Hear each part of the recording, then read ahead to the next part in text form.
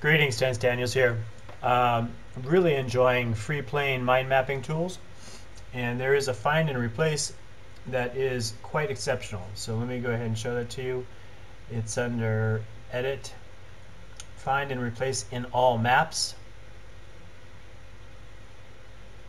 And you can see you can sort by date, although I don't have any dates here. You can sort by text. Got some blanks here. And you can sort by icons, which is even cooler. Now, it doesn't show,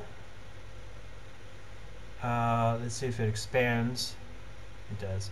It doesn't show the name of the um, of the map itself, but it does uh, show all of the icons and the text created, modified. I'm hoping one day this will be a wiki interface so I can see who modified it. uh, date is not here, but that's not very important, or not important to me. But anyway, pretty cool. Got uh, sort by icons, uh, sort by name, sort by the text here. See how that's how that works? Pretty cool, huh? Can't do that with FreeMind.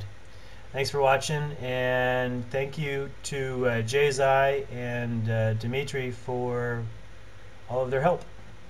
Thanks, and happy computing.